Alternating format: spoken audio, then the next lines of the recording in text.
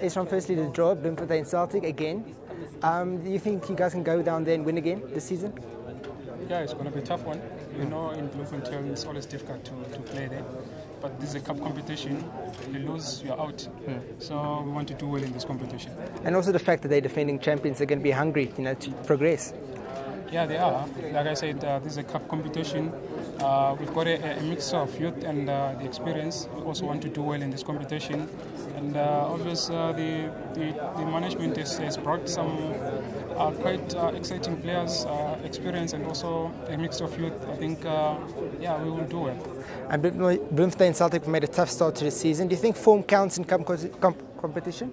Uh, I don't think so. Like I said, uh, a league and the cup is always different. Uh, you know, um, uh, like I said, if you lose one game, you're out. So uh, a cup game is going to is going to, is going to be difficult for, for both teams. But I, I just hope we'll go through. And obviously, it's the first game of this competition. It's always difficult.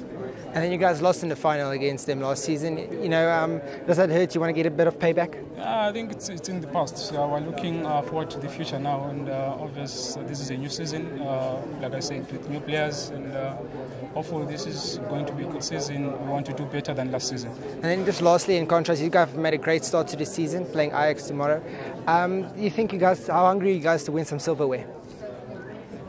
Yeah, so I think uh, it's been it's been long mm. since I last won something. I've even forgot how it means to win a cup or mm. trophy. So I think it would be nice and uh, obvious for the fans, also for the the team as a whole, and uh, obvious our president of the team. Yeah.